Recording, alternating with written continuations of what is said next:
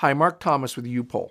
In this second Raptor video, I'll be showing you how to properly prepare a painted surface as well as the procedure for using Raptor as a truck bed liner as well as a durable texture coating on the exterior of a fender.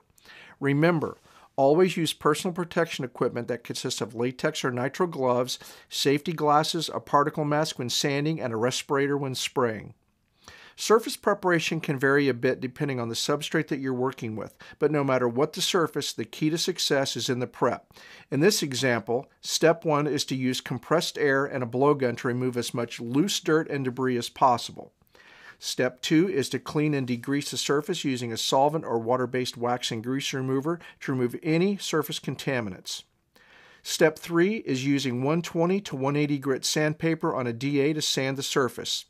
Use a red scuff pad to get into the valleys and the areas where the sander doesn't reach. When using a scuff pad, make sure that the area is well scuffed to ensure sufficient mechanical adhesion. If you can't sand an area well, apply Grip 4 adhesion promoter. Make sure that there are no shiny spots when you are finished. Some technicians will also use a nylon bed brush for this application. After you finish sanding, take the air hose and blow out the bed again. Raptor should not be sprayed over bare metal, aluminum, or galvanized surfaces. So step 4 is to apply Acid 8 etch primer directly over any bare metal areas. This provides corrosion protection and a suitable surface for Raptor to bond to. Step 5 is to mix the Raptor as outlined in the previous video. In this demonstration, we're using Tintable Raptor. 100 milliliters of white base coat toner is added to each bottle of Tintable Raptor base. Step 6, the final step, is attaching the gun, adjusting the air pressure, and applying the material. Keep the gun between 24 and 32 inches from the surface and use a sweeping motion to apply the Raptor. Be sure to keep the gun moving so that you don't get any excessive material buildup in one spot. If you want to apply more than one coat, add additional texture, or even out any light spots you've seen in the first coat, allow 60 minute flash time between coats and reapply.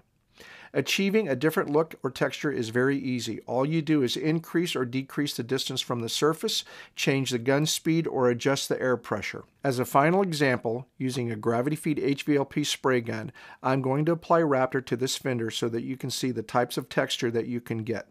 This makes a very durable protective coating that is very popular with 4x4 ATV and off-road vehicles. In closing, Raptor is a durable truck bed liner. It's a protective exterior coating. Raptor can be tinted a variety of colors, even white. It can be sprayed, brushed, or rolled.